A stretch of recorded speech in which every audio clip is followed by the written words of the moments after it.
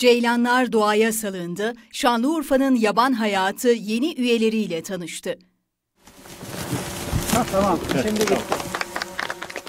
Doğa Koruma ve Milli Parklar Genel Müdürlüğü'nün 75. yıl Ceylan Üretme İstasyonu'nda koruma altına aldığı ceylanlar çoğaltıldı. 20 ceylan törenle doğaya bırakıldı.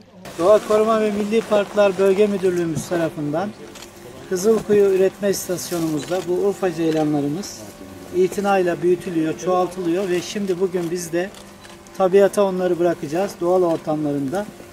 Mutlu, güzel bir hayat yaşasınlar. Şanlıurfa Valisi Hasan Işıldak, üretme istasyonundaki törende vatandaşları da yaban hayatına karşı duyarlı olmaya davet etti. Vatandaşlarımızı onlara karşı duyarlı olmaya davet ediyoruz. Çünkü bu ülkemizde yetişen iki ceylan türünden en nadide türlerden biri. Urfa ve Hatay illerimizin isimleriyle alınan ceylan türleri. Gördüğünüz gibi bu narin hayvan şimdi doğal ortamına kavuşmuş olacak. Doğa Koruma ve Milli Parklar 3. Bölge Müdürü Hacı Ahmet Çiçek de istasyondaki toplam ceylan sayısının 413'e ulaştığını bildirdi. Bravo. Diğer taraftan Tarım ve Orman Bakanlığı'nın doğadaki gözleri foto kapanlar bir kara kulak görüntüledi.